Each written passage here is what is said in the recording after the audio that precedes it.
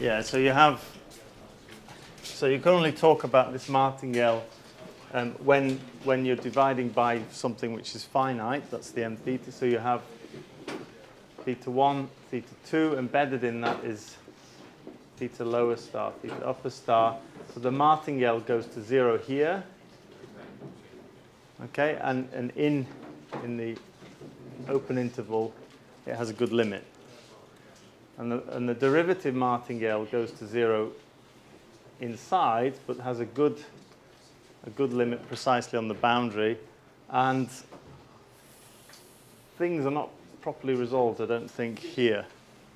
These, these could coincide, right? They could indeed, yeah. They could indeed, yeah. That's very interesting.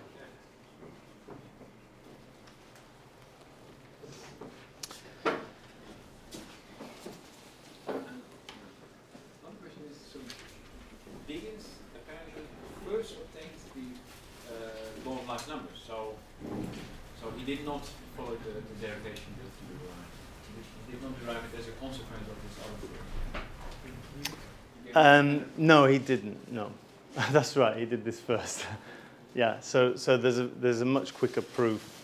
Um, it falls out of this with some slick, some rather slick reasoning. You can. Um,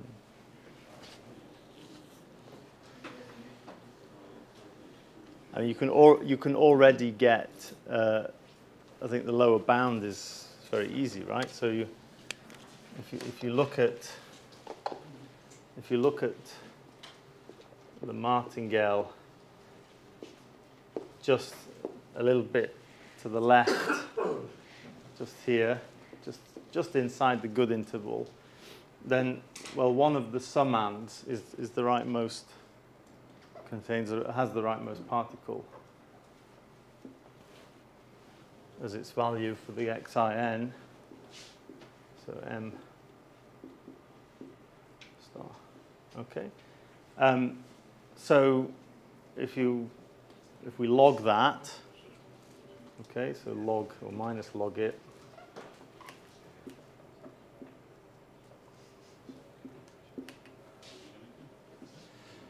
Uh, and then divide by what do we need to do? We need to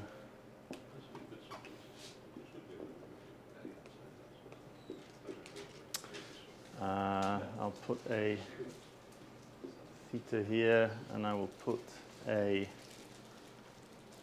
So I've done log and then minus, so minus log. Is it plus? Yeah, it's plus.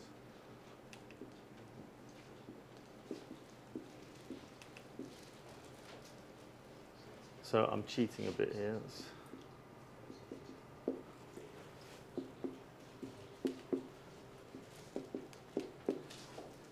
All right. So that has a nice limit. So if you take the, the lim inf of that thing, well, that's, that's okay, that's good. That thing is good, that's nice. And uh, uh, this thing doesn't depend on n. Okay? So on the survival set, the limit is on the survival set, the limit is strictly positive. Um, so the, the, uh, I, mean, I don't want to go into the details, but roughly speaking, you can get rid of this term here. I think I need to divide by, no, I need to divide by n. That's it, I forgot about that. When you take the limit, that thing's good and the n kills it. So the n gets rid of it. And then you're left with this, and then of course you use continuity and take epsilon to, to zero. Okay, the, the upper bound's a little bit more tricky. Okay, so let, let's pick it up with. Um, so I'm trying to get through as many processes as I think you, as I think you will hear about this afternoon. So this is uh, for Christina and, and Matthias. Okay, so now let's move on to these fragmentation chains. And so fragmentation chains, they, they pick up from this, from this process here, from Crump-Mode-Jagers processes. Um,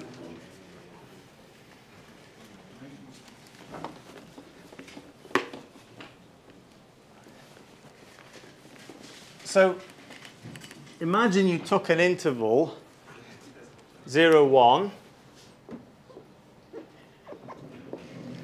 and you're going to start breaking it randomly into little bits, right? So like this. You chop it into little pieces. So if you, you could think of this as these as masses, right? The lengths are essentially this has got the length of this is one, so think of this object as having unit mass, and then the lengths of these partitions are essentially masses as well. Okay, so we break the unit mass into submasses. So I could do that randomly, so it means I've got uh, some subintervals, some smaller pieces, B1, B2. If I order them, I'll always order them in size, so I can reshuffle this so that I always have the, the biggest bit first, and then the next biggest, next biggest, next biggest, and so on. And um, let's say we've got some random way of, of, of chopping this unit interval up. Um, we'll call that, we'll call the bits B1 and so on. The length adds up to 1, obviously. So now at this point, I, I hope my notation is, is okay. So I'm going to use this as a kind of, in the same way I used the point process to evolve a branching process, in the same way I used this offspring distribution A to evolve a Galton-Watson process. I'm going to use this as my fundamental data, if you like, to, to grow a fragmenting process, which is in essence a branching process. Okay, so if I have an interval, which is a fragment of something that I've doing, been doing previously, then I can fragment that piece even further by independently sampling from, um, from this distribution. And my notation is bad. So if this interval has length mod i, then if I take my independent sample of this partition B1, B2, this ordered partition, then and I multiply by the length of i, then I've just taken a scaled down version of, of this independent sample. And so what I could do is suppose I iteratively do this. So I, I, in, the, in the spirit of branching processes, I take my unit interval, I, I partition it with subintervals, okay? And then that's generation one. So generation zero would be the unit interval. Then what I do is I take the, the scaled down version of independent samples of these, these, uh, these, this partition, this random partition, and then I apply it independently one uh, uh, partitioning here, another partitioning here, another partitioning here. Okay, so I would then, and then I reorder the masses in decreasing size. Then I would get a new, so initially I would have to partition independently this, this length here, and then independently partition this length and so on. And then I would need to, to, to reorder it in decreasing order, so I'd have dong, dong, dong, dong, okay? So if I did that to the nth generation, and I'm using these, these words obviously in, in an obvious sense now, if I did that to the nth generation, okay, then I took minus log of the inter interval lengths, okay, so I'm being a little bit naughty here because I'm using i both as intervals and the lengths of the intervals here, bad notation. Okay, so maybe I should have a mod, mod i here, but if you bear with me, so if I take the, the negative log of the, the interval lengths after n generations of this independently splitting each fragment size that I see in the previous generation, okay, then this is a CMJ process. This is a Crump-Mode-Jagers process. Why? Because, well, let's pull up the picture. Everything's in the picture. So what, what have I got here? Actually, I think I have another picture over here. No. What have I got here? Well, if I take the first uh, partitioning, if I take the lengths of the first partitioning, so they would be log b1 minus log b2 and, and so on, Now, of course, because I've partitioned the unit interval, then, then each of these things is a number between 0 and 1. So, so minus log of each of these things is a, a, a positive number, right? And because I've ordered them, so I have um, the lengths, B1 is the biggest, B2 is the next biggest, and so on. And, and let's just assume that we've got strict ordering. I, I, I, have a random distribution which strictly, which always produces a strictly ordered um, sample. Um, then I've got uh, I've got an well then I've got an ordered sequence of real numbers when I take minus log of them. Okay. So the largest the largest block, the length of the largest block is the smallest value, the, the smallest cross in the point process here. Okay, so largest block, next largest block, next largest block. Okay, and then what about the the size of blocks in the next generation? Well, I take each of these blocks and then I subdivide them again and then I reorder them. So when I subdivide them, remember if I, if I had a particular fragment i, so when I subdivide it, what I'm doing is I'm taking the length of i and, and then multiplying that by an independent sample from this partition, this random partition distribution. So of course it means that the resulting fragments have length mod the, the, the fragment that the, the piece that the length of the piece I've just broken up times by the relative lengths of the, the subfragments. Okay? So on the on the log scale, that would give me um, uh, for example, the, the, the first block would be this size, right? I've done something wrong. Better? Yeah? Okay, so the effect of when I, when I partition, I, multi, I, I, multiply by factors the, the length of the subfragments by the, the length of the parent fragment. Okay, that corresponds to adding relative to this position here, right, in the CMJ. Okay? So multiplication becomes adding on the minus log scale. So if I want to know how small are the subfragments of this particular sub this particular fragment here, well, I need to multiply the length of this fragment by the sampled subfragments. Okay, the, the, the, by the, sample lengths of these uh, B1s, B2s, and so on. So that corresponds to adding from that value, adding an, uh, an IID um, point process. Okay? And the point process having points being minus log B1, minus log B2, and so on. And everything is ordered. Okay, so the CMJ process is representing, or rather, this is representing a CMJ process. This is a CMJ process. Okay, so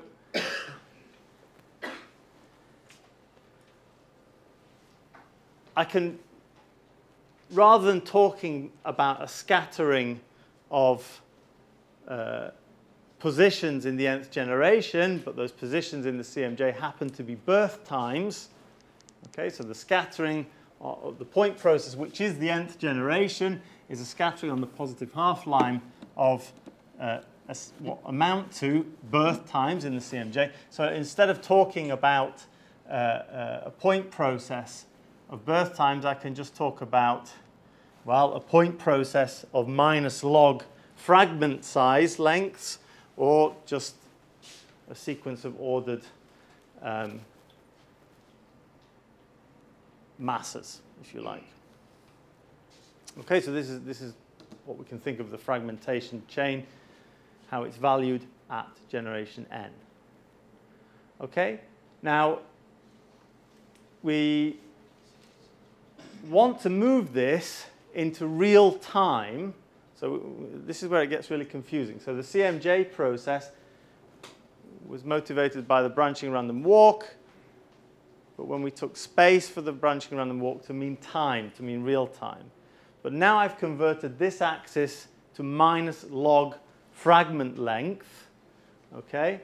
And I want to convert this axis to real time. Okay, so this axis was generation number and real time. This has been converted to minus log of fragment lengths. And upwards I want to go into real time. So what I'm going to do is instead of just looking at generations of dislocations, I want to hold a particular fragment as it is for an independent and exponentially distributed random time. Okay? So we start with the unit interval. The unit interval has length 1, minus log of that is 0. Okay? So on this axis, we've got minus log fragment length. So I've got the unit interval, and I hold it for an independent and exponentially distributed random time. It fragments. It fragments using a sample of this, these subintervals B1, B2, B3, and so on. So the minus log of these guys is the scattering here, the point process scattering. It's the ordered minus log interval length of the first fragmentation that occurs. Now, this guy, that's the largest block. Each of th this guy, like every one of them, is assigned another independent and exponential clock. Okay, so the next action that occurs with the largest block here, after the first fragmentation, is happening after an independent and exponentially distributed time, and there it is. Okay, so these are the minus log relative fragment lengths relative to the size of the first block in the first dislocation. Okay? Now, of course, that can happen later than perhaps one of its siblings here. So one of these other blocks here, because they all have independent clocks on them, one of these guys could fragment first before the, the, the, largest block. There's no reason to have this block fragmenting first, right? So each of them have an independent clock. So we don't know which one of them will go first. In the picture I've drawn here, uh, this guy seems to be the one, at least the part of the picture that we see, right? This is the one that went first, okay? So this process here is describing the state of my unit interval after real time t as it's fragmented according to independent clocks associated to each fragment bit. Okay, so after some time t, well, if I didn't order in large in, in, in order of size here, then we, maybe this guy hasn't yet fragmented, maybe this guy has fragmented, maybe this one hasn't, this one hasn't, maybe this one has. Okay, so if I look at time t, I draw this red line here and I look at time t, then in this diagram here, what I'm picking up, what intersects the red line, are uh, the, the current state of the size of the blocks, irrespective of how many fragmentations have occurred. Okay, and as you see in the picture here, even if this one has fragmented and this one haven't, hasn't, it doesn't matter if we just look at the, the, the, the lengths and we add them up, they still add up to one. Okay? So, take time t, what I see is a point process moving across the red line, and this point process is telling me what the relative size, what the, the, the, current size of all of the, the lengths of all of the current frag fragments are at time t. In fact, it's even doing better than that. It's even telling me, telling me them in order, right? Remember, it's on the minus log scale, so small is big. So this would be the biggest fragment, the next biggest, and so on. Now it happens in this picture that the biggest fragment comes from the biggest fragment of the initial fragmentation, right? Uh, but you could imagine a scenario where that was not true.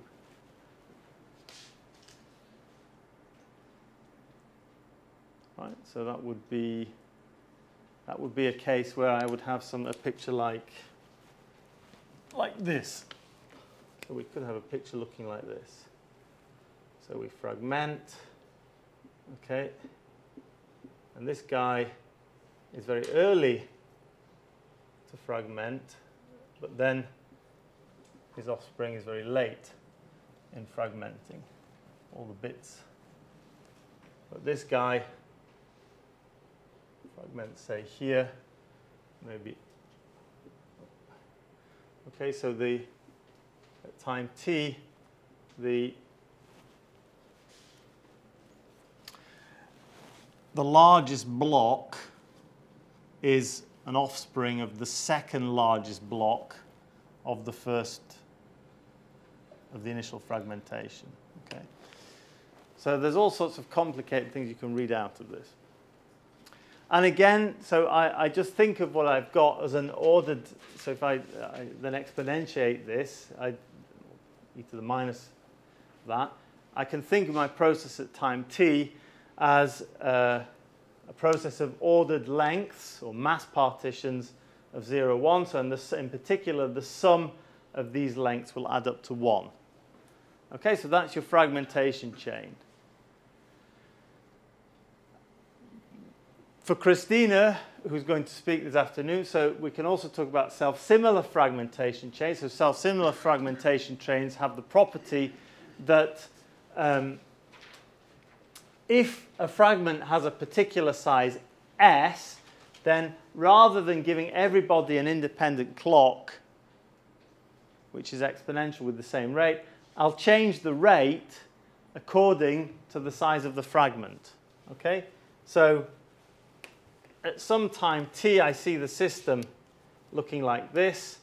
Then this guy has size s, well, he shouldn't look, yeah, he should look like that. His size s, so I'm going to attach the life length to this guy being exponential with, or let's say this is just, this is just after a fragmentation. I attach to this guy an, a life length which is exponential s to the alpha, well, multiplied by some parameter which I'll take as 1.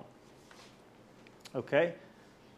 And now this, this index alpha, this real number alpha, is, is the index of self-similarity. So the case alpha is 0 is the case where I have them all waiting around with the same rate, an independent exponential with a constant rate. But when alpha is not 0, then I've, I'm, I'm fragmenting at rates which depend on the size of the block.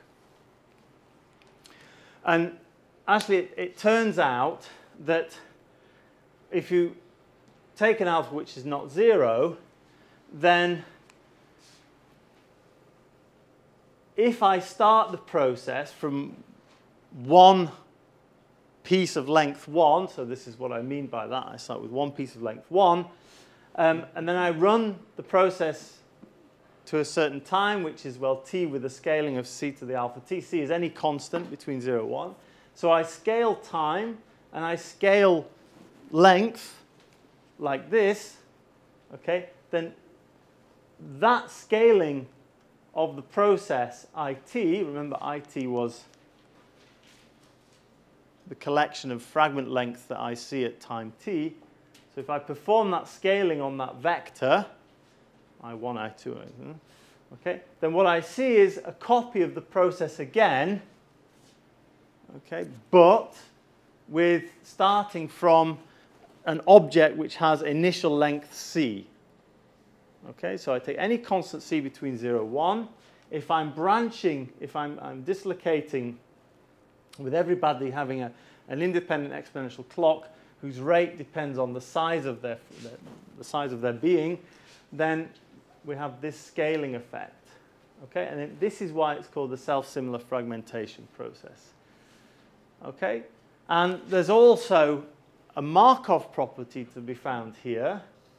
Okay, and the Markov property is saying, well, if I want to move from time t, sorry, from time, uh, mm, be careful, I always mess this up. Okay, from time t to time t plus s, then what I need to do is take the fragments I see at time t.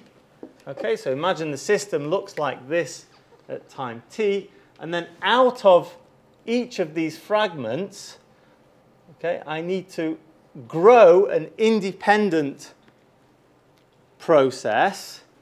And the independent process I'm going to choose to grow are independent copies of scaled versions of the original process.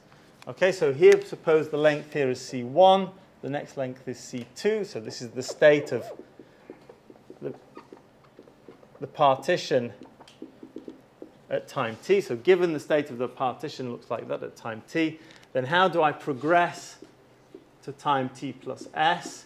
Well, I take what I'm given and I grow out of that independent copies of rescaled versions of this IT, rescaled in space and time.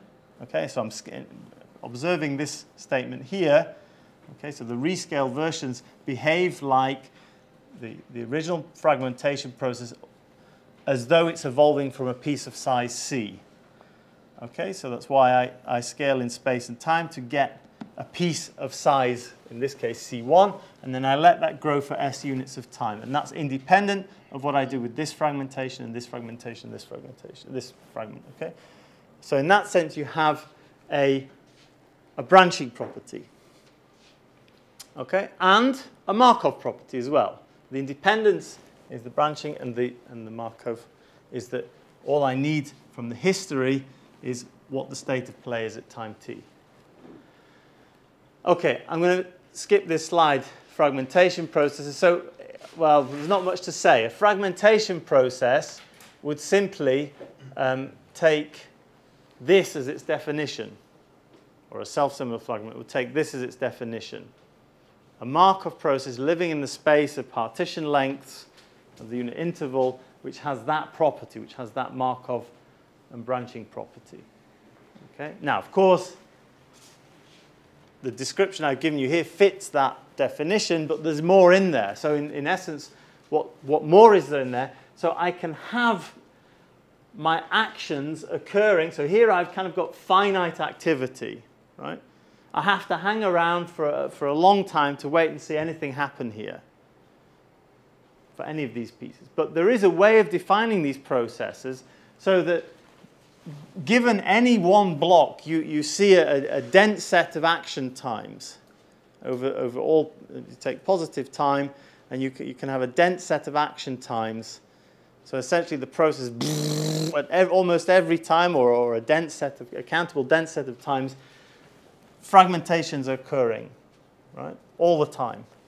So this is a rather finite system that you can find, or a finite activity system that you can find within the class of processes that do that.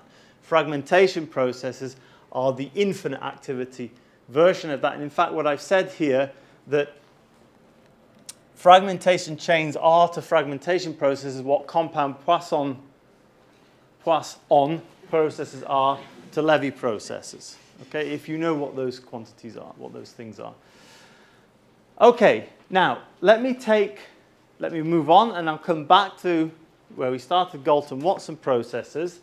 But I want to take this idea of rather than counting, looking at time through generations, introducing a sense of real time by putting holding times on individuals, exponential holding times. So in other words, I want to move from the Galton-Watson process as a discrete time Markov chain to the Galton-Watson process as a continuous time Markov chain. If you remember from your Markov chain course, one way to convert a, a, discrete time Markov chain to a continuous time Markov chain is to put exponential holding times on each state. Okay, so it's something like that. So what I'm going to do is I'm going to say that um, each individual is going to hang around for an independent exponential amount of time with rate beta. Okay, and then it'll branch, and then it'll divide up into a random number of offspring. Okay, and so now zt is the number of individuals at time t. So before we had zn, okay, that was the number of individual in generation n. But now when I'm holding individu individuals for a real amount of time before I let them fragment, so one picture I might draw one way of representing that. So we could say, hang on for an exponential, do your split, okay, do your split into random offspring, and then each one with an independent exponential amount of time will hang around again for an exponential amount of time and split and so on. Now the tree becomes a bit difficult to draw because uh, as I said before, there's no, there's no meaning of, of space in this axis, so I just have to make sure that things don't overlap to see what's going on here. So we get different holding times for different children and so on. Okay, so I'm just drawing it so that uh, everything fits in the picture, right? And then we look at time t, we take, this is time, so I look at time t and I see how many people I've got at that time. Okay, I just count them up, and that's zt. And again, I can put this little k up to tell me uh, whether I'm interested in having just one individual at time zero or k individuals. And exactly as before, so we have this branching uh, decomposition that if I'm, I want to know what's happening at time t from k individuals, all I need to do is grow k trees, each starting from one individual, independent of one another, and look at the relative contributions at time t and add them together. Okay? Okay, and again, we have the same Markov property occurring. So if I want to get from time uh, t to time s, just tell me how many you've got at time t. Okay, and then from each one, let's grow an independent copy of the original thing out of that, and then intersect a further s units of times later and count up the aggregate of what we've got.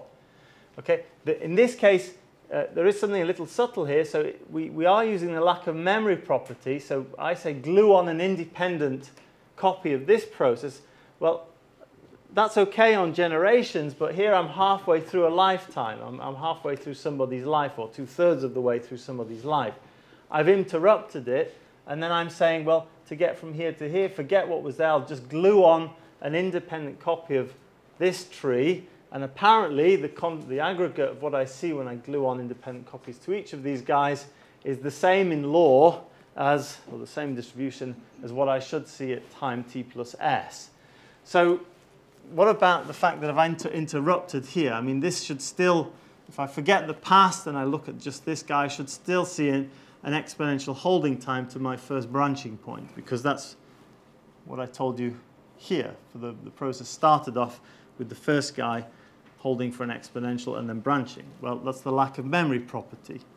Okay, so the lack of memory property allows me to say what I'm saying here, that what I see at time t plus s is in effect, in effect forget the past, just see what you've got here, and then start afresh with an independent copy, run for a time s, attach to each one, and then take the aggregate at time, time s later. Okay. Now, lots of familiar properties. So I'm not going to go through all this because it's just saying the same thing again, but repeating uh, t instead of s, uh, uh, instead of n. Okay, so extinction is now zero for some time. Process becomes zero at some time. If the mean is less than equal to one, of course, then you extinct with probability one. If the mean is strictly bigger than one, then you have a chance of survival. Okay, and on survival you go to infinity. Well, if we look at starting with one guy, we look at the average number of offspring. That's a little bit more complicated now because before I, I could, well, I didn't show you that, but there's an, there's an obvious way of iterating over generations. You can do an a law by induction, uh, uh, proof by induction. Here we kind of come in at time t. Everybody's staggered. Everybody's got a staggered birth time relative to time t. Okay, so there's not a, an argument by induction that I can use as I would use with generational counts, but nonetheless, we find that the, the mean number that I have at time t is exponential. That should be a beta.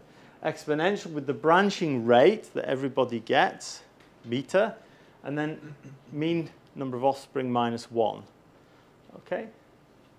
Take, so that's the mean number of people at time t. Take the actual number of people at time t, divide by the mean. There's your martingale again. And you can imagine what the, the analog of the Kesten-Stigum theorem looks like. Okay, now, there's something very nice uh, about continuous time Galton-Watson processes in that I can somehow find other processes hidden inside of them. And I can find compound Poisson processes hidden inside of them. And the way to access that compound Poisson process is to do a time change. So now I'm going to construct a clock. Okay, so the clock is, well, the integral up to time t of the process itself. All right? So in some sense, um, the larger z is, the more people you've got, the faster the clock is ticking. Right? And this is the inverse of that clock. So it says how much, uh, how much real time do I need to get this clock up to time t? Now, I will time change my branching, my continuous state Galton-Watson process by the inverse of that clock. Right? So when I time change the branching process in this way, what comes out here, I claim, is a compound Poisson process. Right, now let's just look at how this thing behaves up to the first branching time.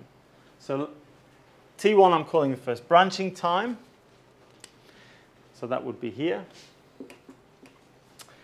Um, I'll start with k individuals. All right, let's start with k guys. So let's make the picture even worse. Okay, here are the k guys with offspring. k is 3. When, what's the distribution of T1? Well, each of these k guys has got an exponential clock, independent. So the first action I see occurs after an independent amount of time, uh, sorry, uh, uh, occurs after an amount of time which is the minimum of k independent exponential distributions. And the minimum of k independent exponential distributions is again exponentially distributed. Okay, it's exponentially distributed with the sum of the rates. And they all have the same rate which is beta. So the first action time is exponentially distributed with rate k beta. And so what's this clock doing? Well, this is just k up until that first action time. So j at time t1 is just k times t1 because nothing has changed in the value of z. It's still k people up to t1. Okay. And since T1 is exponentially distributed, another property of exponential distributions, if you multiply an exponential by a constant, you again get an exponential distribution. And you get an exponential distribution with the parameter multiplied by 1 over that constant. So that guy's already exponentially k beta. Multiplying by k means this is exponential with that thing divided by that constant, which is beta. Okay? So the value of this clock at the first action time is now exponentially distributed with parameter beta.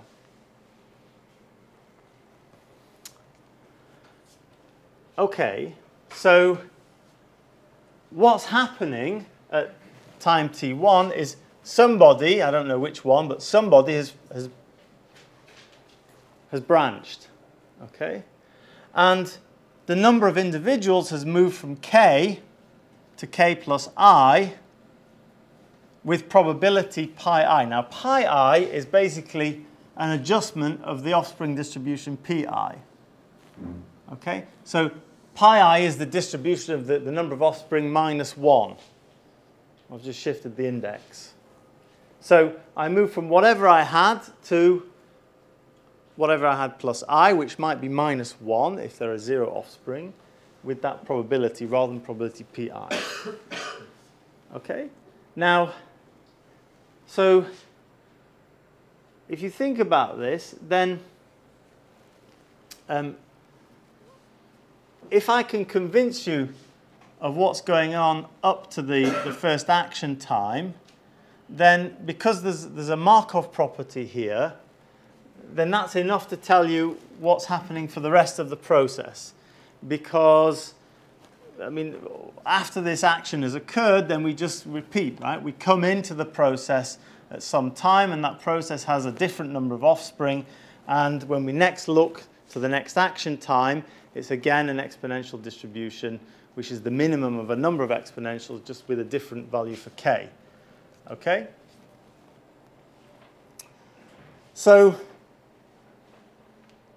what has happened is, in effect, I have converted by, by what the effect of this inverse is doing, the inverse of this clock, is I have converted the, the first action time from uh, an exponential with k beta to an exponential with beta. And that's independent of the k, right? So if in effect under the time change I have caused my first action to occur after an independent exponential with rate beta, I change the number of particles, then again I forget the past by the Markov property. The next action time will again, through the time change, still occur with an exponential with rate beta, which is independent of the previous exponential. Okay? So in effect, this, this thing here is observing things, is observing changes every independent and exponentially distributed random time. And what is happening is how much am I changing by on each action? I'm changing by an adjustment to the number of particles by adding i with this distribution, right? So the spacing of the actions is IID, and exponential, and the actual action itself is again an independent and identically distributed change by adding a constant number of particles or subtracting one. It depends on uh, the i, the value of i, okay? So what does that? What hangs around for an exponential and then jumps to a new position and then hangs around for another exponential and then takes another jump of the same distribution somewhere else and then hangs around for another exponential, and then takes another jump with the same independent sample from the same distribution, goes, so that's a compound Poisson process. Okay, so what we've done is the time change has, has, has lengthened out, and it's shrunk and it's contracted and, and, and lengthened the periods of times between individual changes in the number of offspring so that what we're observing in the end is starting with k, exponential holding time, and then we increase by a random number or we decrease by one. Either we have no offspring or we increase the number of uh, people. So we go up, okay, and then we hang around for an exponential amount of time. And again, there's a change here. The change is the number of offspring or minus one if, if we have no offspring. So it's, again, it's an IID uh, copy of the, the discontinuity here. Okay, let's say it's minus one, and so on. So we're seeing here a compound Poisson process in the end. And you can also do the reverse. You can say, you give me a compound Poisson process with arrival rate Q and a jump distribution which is concentrated on minus 1, 0 we're not allowed, uh, uh, uh, 1, 2, 3, 4, 5, 6, and so on with probabilities. Uh, there's, there's an I missing there. Pi 1, pi 2, pi 3, and so on.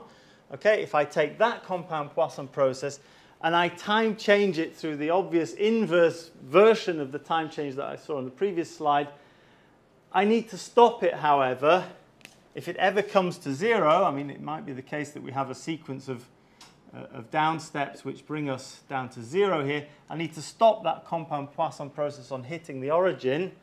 So by time changing up to the compound Poisson process hitting the origin, the process that comes out, well, it turns out to be a continuous time Galton-Watson process because I've reintroduced, right, I've reintroduced an inhomogeneous waiting time for change, okay, and it's state dependent. The, the, the time I hang around before changes is depending on the current value, okay, and the dependency that's introduced is exactly the same dependency that you see in the continuous time Galton-Watson process.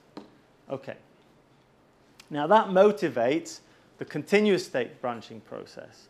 So here, the Galton-Watson process in real time zt, it's integer valued. Okay? And so we somehow mapped this onto a compound Poisson process which was also integer valued. But what about if we got rid of this assumption that the population at time t was integer valued and we said let's make it real valued, positive real valued. Okay, so it's continuous mass. Right? The, the population is some number between 0 and infinity, a real number between 0 and infinity, rather than an integer between 0 and infinity.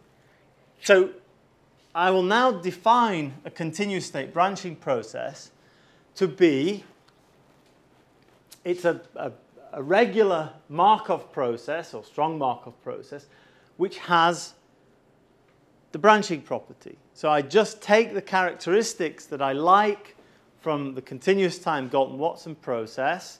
So think about the fragmentation chain, and then I said, look, fragmentation chains do this. If I take this as a definition of a fragmentation process, then it turns out it contains fragmentation chains and more. Okay, I'm going to do the same, exactly the same uh, uh, trick again. I'm going to say, take what I see from the continuous time Galton-Watson process. And what I see is a, a strong Markov process with a branching property, and I'm going to express that like this. So suppose I start with x plus y, thinking integers for now, x plus y individuals, number of individuals. Then what I keep telling you is to see what I've got at time t, well, I just, starting from x, y plus y individuals, it's the same as growing a load of trees with with one individual and then just looking at the aggregate. I could have also said, well, grow, say, a, a, tree starting with X individuals and a tree starting with Y individuals independently of one, one another and look at the aggregate. And that's the same in distribution as what I would see starting from X plus Y individuals. Okay? It seems obvious, that statement in the, in the case of Galton-Watson processes when you've got an integer count. So I just upgrade that statement say, well, let, what the hell, let's, let's have x and y just as positive numbers. And so my definition of branching now means whatever the process is doing at time t, if I start it with x plus y mass, it's going to be the same in distribution as if I started the process with mass x and an independent copy with mass y, and I added them together. So the factorization here, you see, is saying that this thing is the sum of that process starting from x plus an independent copy started from y. Okay, that the factorization is the independent sum. All right? It's a compact way of saying I've got an independent sum. So if anything lives in there, and we know at least that continuous time Galton-Watson processes should live in there. If anything lives in there, it turns out that if you just go through the steps I showed you with a little bit more patience and a little bit more mathematics, then the same time change, so you use, this should be Z, not Y. Okay? So if you take the process Z, you use the integral of the process Z as a new clock. You take the inverse of the integrated process and you subordinate Z by that. You get, again, not compound Poisson process, but a process which has stationary and independent increments. And that's a Levy process. And in fact, just like this stationary and independent in, uh, increment process, which happened to be a compound Poisson process, this guy was only allowed to have jumps downwards of maximum size minus 1. Okay, that was the case of no offspring. You could have lots of offspring uh, bringing you an upward jump, giving you an upward jump with any number of, with any integer, but you could only drop down by minus 1. So in this story, what turns out to be the case is the Levy process that appears through the time change has no negative jumps. This is a little bit a special case of this. So here we have got a negative jump of minus 1, but in the, in, in the true continuous state, here we have a discrete state, but in the true continuous state, this thing, when time change, will come out as a Levy process with no negative jumps. Okay, and conversely, if you, give me a Levy process with no negative jumps, we make the same time change we saw before. Okay, we take the inverse of this guy here, and we take the Levy process time change, but stop it if it goes, uh, if it hits the origin, then you see a CSBP. Okay. Now, I can't describe a CSBP in the same way that I can describe the continuous Galton-Watson process. Here I can say hang around for an exponential, have a random number of offspring, each one hangs around for an independent. So I can kind of put building blocks together piece by piece, right? But I can't do that for a continuous state branching process. There's too much happening at once to be able to do that. So the way to describe the evolution of continuous state branching processes is through the semigroup. Now, a Levy process is defined, is, is characterized through its Laplace transform, or more generally, it's through its Fourier transform, but because this is a Levy process which has no negative jumps, we can talk about its Laplace transform comfortably, at least for the parameter lambda positive. And there is I noticed some finance people in the room, so you all know this, that the, the, the, the Laplace transform of a spectra, of a, of a, uh, a Levy process with no negative jumps uh, has this nice Levy-Ito formula. So Levy-Khintchine formula, we get e to the sum function of lambda times t. We get a, a factorization. This is a function of lambda and t. We get a convenient factorization uh, in t and lambda if we, if we make an exponent an exponential out of this, or we take log of this on the other side. And in particular, psi has this nice form, which is the Levy-Khintchine formula. Now, we know that hidden in every CSBP is a Levy process of this type.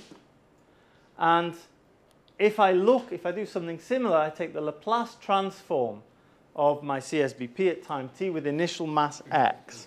I'll just define that to be uh, e to the minus some function of theta and x.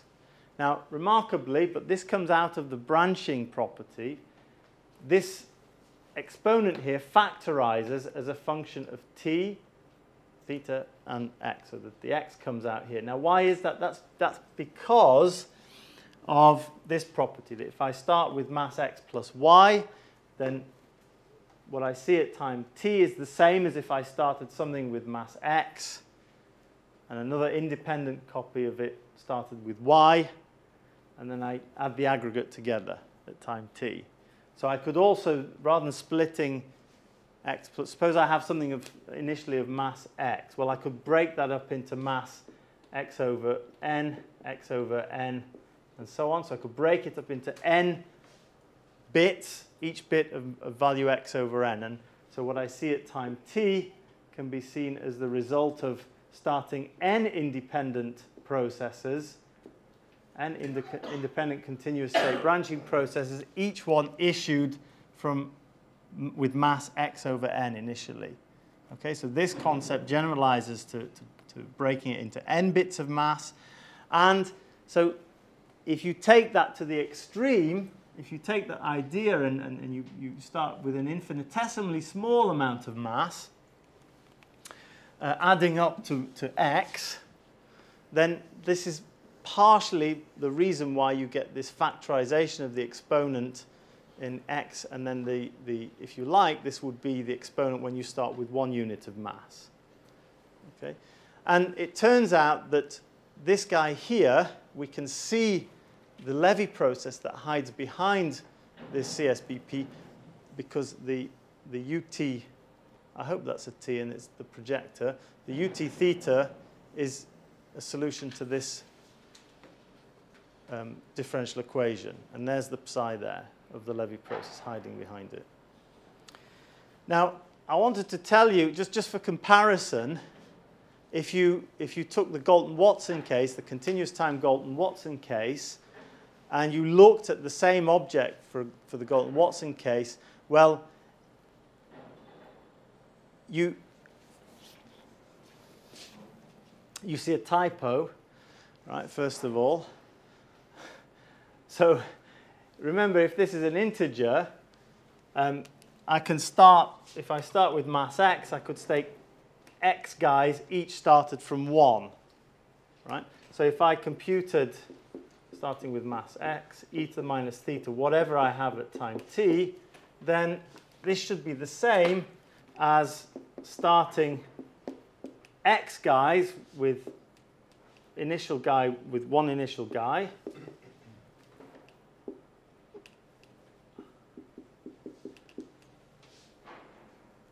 And adding together the aggregate of those x processes each started with 1 in this Laplace transform would correspond to multiplying each of these Laplace transforms together, start, each one starting from 1, x times. So I would end up with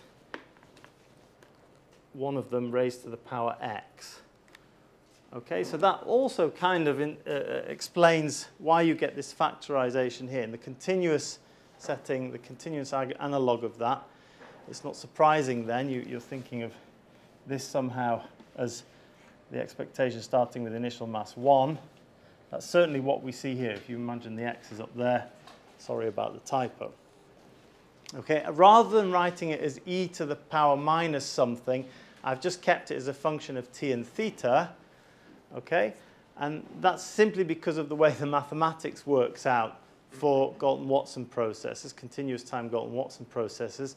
So how would this guy evolve in time? Well, it would solve this differential equation. Okay, so where now G is looking like the branching rate, this is the probability generating function of the offspring distribution, and then minus S. In, in some sense, this is I get J particles and, I, and one guy's died. Okay? So an infinitesimal action happens at rate beta.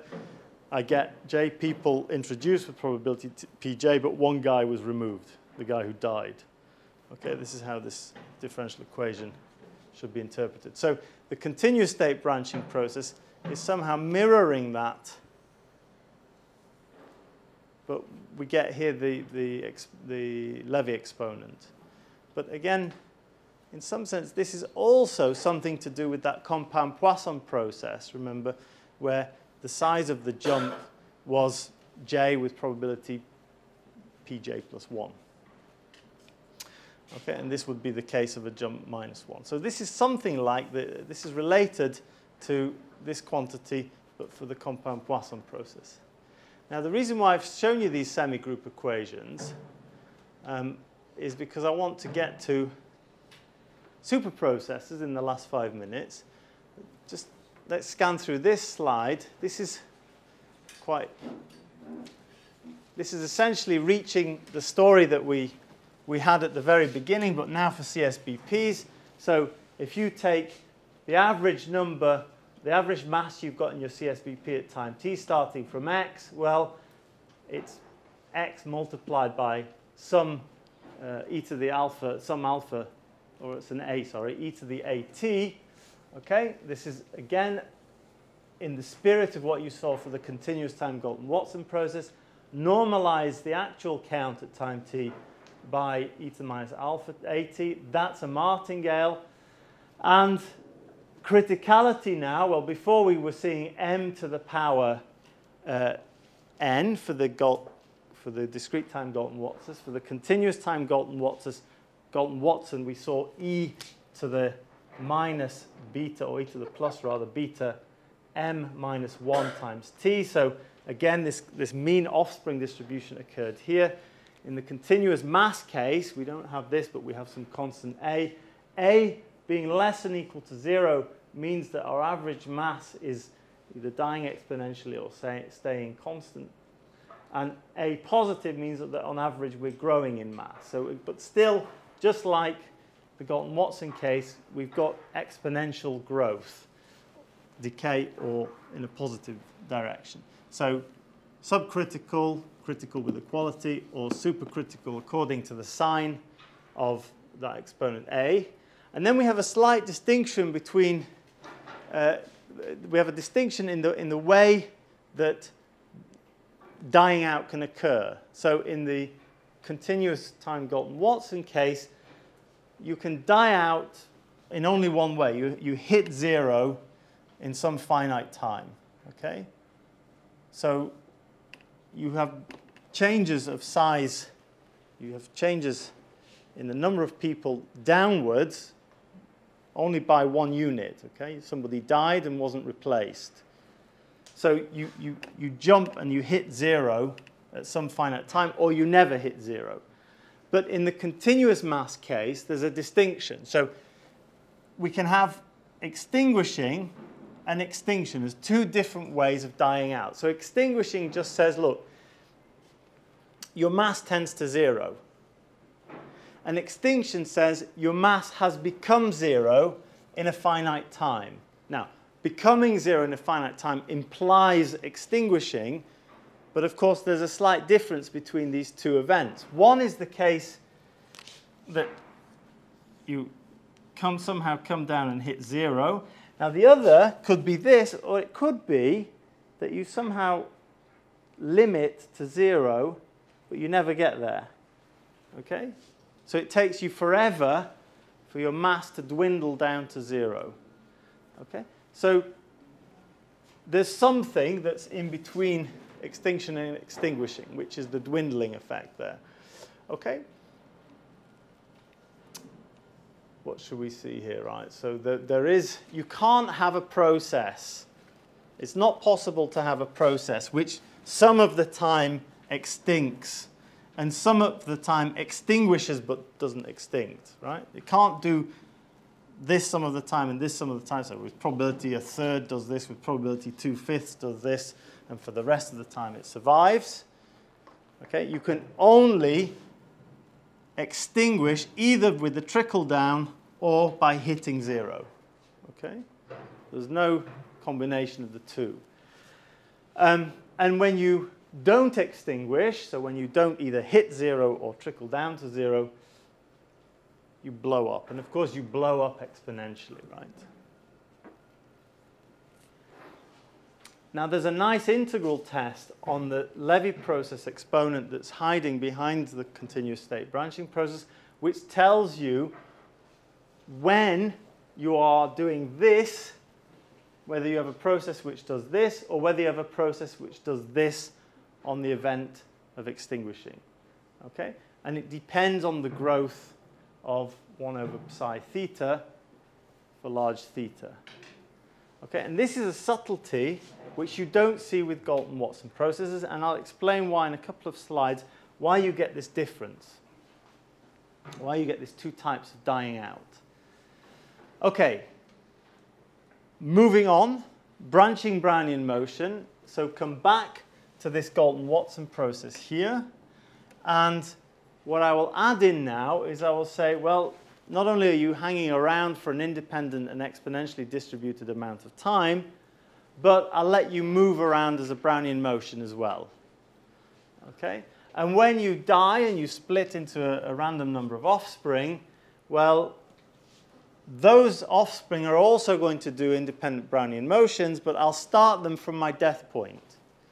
Okay, so the, the, the easiest thing is to look at a picture. So here we've got two initial ancestors. We move around as a Brownian motion. The exponential clock rings. I die. I have two offspring here. And I start for each one an independent Brownian motion. And off they go again. Each one lives for an independent exponential. This guy's clock rings. In this case, everyone seems to have rather a low number of offspring, two or three. he has two independent Brownian motions, and so on. Now, this is akin to a, a branching random walk, so I can describe the process at time t, again through a atomic valued random measure. So I have how many particles at time t?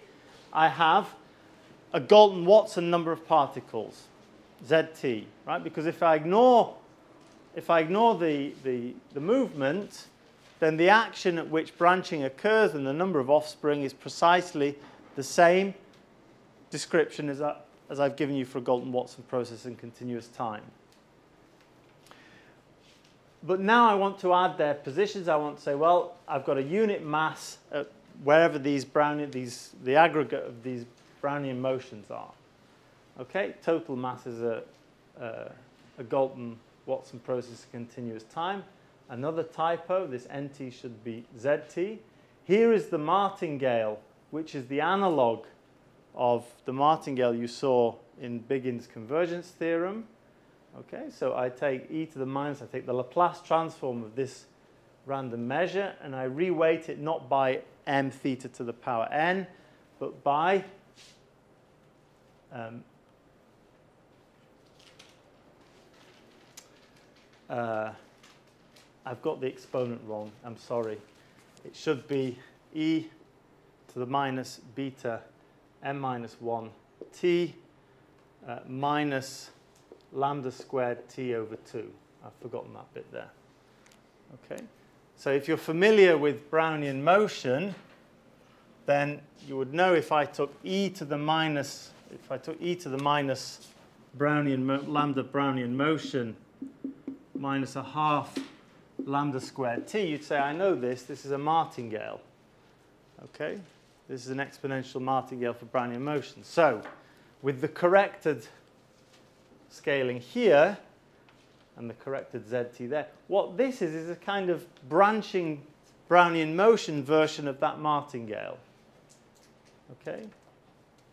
In essence, let me write the correct formula here. So it should be sum i is 1 to zt e to the minus lambda uh, t minus, I'll put the half lambda squared t, and then minus beta n minus 1t. So this martingale is kind of, if I cover up those bits, you see the Brownian martingale. And of course, any line of descent to time t, although there is branching, any line of descent is in, in effect following a Brownian motion. So it's adding over each particle the Brownian motion from the root until the position at time t. But then because I'm adding over a Galton, uh, Galton-Watson number of particles, I need to rescale by the average number of Galton-Watson particles. Okay, and that's your martingale. And again, the same story that you saw for branching random walk. This you can check when this thing uh, converges to a non-trivial limit, and you can use that to pull out information about the rightmost particle of your branching Brownian motion. This is my last slide. And then the torture is over for me. okay, so I want to remember what I did for Galton-Watson processes. I said, look, I want to get this discrete valued object and turn it into a continuous valued object. So I want to have this thing valued in the positive reals. Okay? So how about I convert my branching Brownian motion from a discrete object to something which is even more continuous. And the even more continuous version of this would be to say, rather than having it as an atomic valued measure at time t, how about I have it measured, uh, have it valued in the space of finite measures at time t? Okay? So that's what I'm after, and this is how I can build one of those things. So I'll take some measure mu in the space of finite measures on RD or R or whatever the space you want to work with. Um, this will be my, the initial value of my new measure valued process that I'm about to construct. Okay, I take a branching Brownian motion with an initial number of particles which are scattered in space according to a Poisson random field with intensity mu multiplied by n. Okay, so in one dimension, I'm saying I'm going, I'm going to construct this process that starts with a measure on um, the real line. Let's say that I'm drawing here for you the support of measure mu. Okay, so let's say that mu is the black thing there you see is the support of the measure. Now I use this as an intensity for a Poisson random field. Well, I use this multiplied by n. So, of course, I pick a Poisson number of points according to this measure multiplied by n, and they must lie in the support of the measure mu. That's a consequence of it being a Poisson sample with this intensity. Okay, now from each of those guys, I evolve a branching Brownian motion. Off they go. But the branching rate assigned to each of these BBMs is going to be beta multiplied by n. Actually, I'm going to have beta equal to 1. Don't do this because you'll ruin the board, right? So take beta equal to uh, take beta equal to equal to 1. So I'm going to fix the branching rate at n, and I'm also going to assign mass to each individual 1 over n, because in my branching Brownian motion, I'm counting each particle as just one object, right, as one unit. So why not give it a unit of mass 1 over n? I want to end up with a sense of continuum of mass, right? So I've got branching rate n, and each particle is worth mass 1 over n. So if you look at what we saw before in the, in the, the semi-group equation for the continuous time Galton-Watson process, we saw this object occurring. Okay? I hope we saw this object occurring. There he is. There he isn't. There he is. There he is there. Okay? So G was the branching rate, and then this was the generator, the generating function of the offspring distribution minus S. Okay. So somehow this was ca this captured all the information we wanted about how to grow the process. We grow it, branching at rate beta. There's the offspring coded in here, minus one because a guy dies, right? So in this story here, I want to take my offspring distribution such that this is equal to that, where psi is one of those Levy-Khintchine exponents right? Now, I've got no linear term on it, but let's not worry about it for now. So you would say to me, yeah, but how do you know there exist probabilities such that all that together looks like that, where psi happens to be that thing there? Well, if you take this function here, it's, all, you know, it's an exponential with one, the first two terms stripped off it.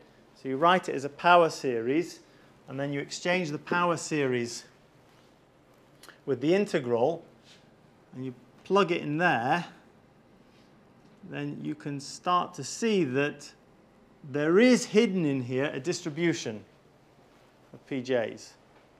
Okay? I'll let you work about, I'll let you think about that yourselves. Okay? So for a very particular choice of PJs, I can make this look like that. Okay? And then what I do is I take limits as n tends to infinity. So as I take n to infinity, the mass assigned to each particle is worth less and less and less. I get more and more particles because I, have got a Poisson sample of particles with rate mu n, or n mu. Okay? So if you think about it, the mean, the mean number of particles here in any domain, let's say A, would be n mu of A, but each particle is worth 1 over n. So in the limit, or even before the limit, the average mass that I assign to A is just mu of A, at least on the baseline here. Okay? Now, it turns out that when I take the limit as n tends to infinity, I branch faster, I give less mass to each particle, I increase the number of particles that I start with. The whole thing converges to something. It converges to what we're going to call the super Brownian motion. And one way to check, I mean, the weak limit, we have to be very careful about what we mean about this because we're talking about convergence of the process as a whole. I'm not going to go into the details. So really what one way to convince yourself is to look at, I lied, it's, this is the last slide.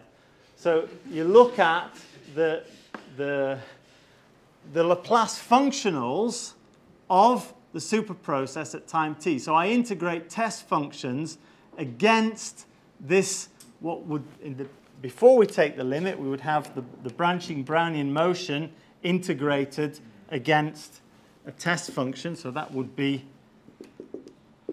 so everything depends on t, f of x, i, n, t, right? So that would be the inner product of f with the nth in the sequence of our branching Brownian motions. So take Laplace functionals of this guy, take the limit, and you will find that you limit to the Laplace functionals of what's going to be our super process. And if we start with a unit mass of x, and we define this exponent accordingly, we find that it solves a p PDE looking like this. Okay, if we switch off movement, or we don't care about movement, then we're back to the PDE describing the CSBP. Right? Remember, this was exactly the CSBP telling me what the, the, uh, uh, the CS, how the CSBP evolved, which is to say that if I take F equal to 1, the total mass of the super process is a CSBP. So somehow I've built this thing up from BBMs, total mass of BBM is a, a continuous time Galton-Watson process, so not surprisingly, total mass of a super process is a CSBP process. Okay, and here's the branching process, here's the branching property that if I don't start with a unit mass at x, I start with a, a general measure, somehow I see the Laplace functional as an integral of the Laplace functional, or the Laplace exponent, starting with Dirac mass at x against the initial measure mu. So it's somehow representing the idea that I take my measure mu, there's the support of mu here, so a bit here, a bit here, a bit, and I divide it up into tiny infinitesimal bits, and it's as though somehow I'm issuing an, a, a super process of infinitesimally small mass from each point in the support of, uh, of mu and they're independent. This is what this integral should be interpreted as. Remember, when we have, when we, we did a com computation here, if we have k guys, we look at the Laplace functional of k guys in a Galton-Watson process. It's like raising the Laplace functional starting from 1 to the power k. Okay, you now know enough to listen to the remainder of the talks. Any questions?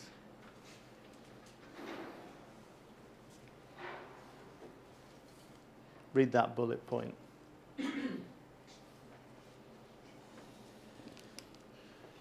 CSBPs either do that or they have the strange difference with what's they trickle down to zero. This is a phenomena which is occurring as a consequence of, if you think about this rescaling, it's also telling you how to rescale a Galton-Watson process to get a CSBP because in effect we're putting an infinite number of particles to start with.